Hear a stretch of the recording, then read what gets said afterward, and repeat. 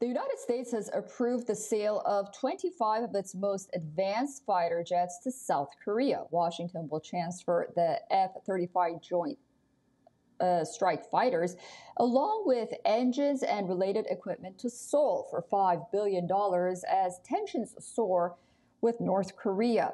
The announcement deal covers 25 F-35 models alongside 25 Pratt & Whitney F-135 PW100 engines and a host of other equipment.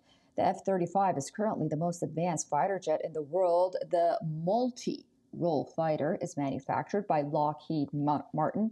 The fighter jet can carry a payload of up to 8,160 kilograms. The F 35 roars at a maximum speed of 1.6 Mach, which a range of more than 2,100 kilometers on internal fuel. The jet can be refilled can refill its tank in air for an unlimited number of times.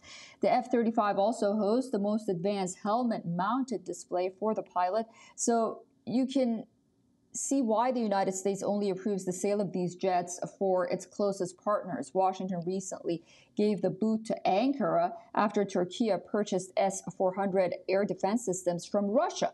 The announcement comes on the same day when North Korean leader Kim Jong un was meeting Russian President Vladimir Putin in the Far East. U.S. says the proposed sale will not alter the basic military balance in the region. South Korea already has a standing order of 40 F 35A conventional takeoff and landing models. This means the new buy would increase its fifth generation fighter fleet by over 50%.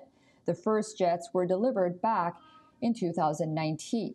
The announcement came on the heels of a major trilateral meeting between the leaders of the US, Japan, and South Korea.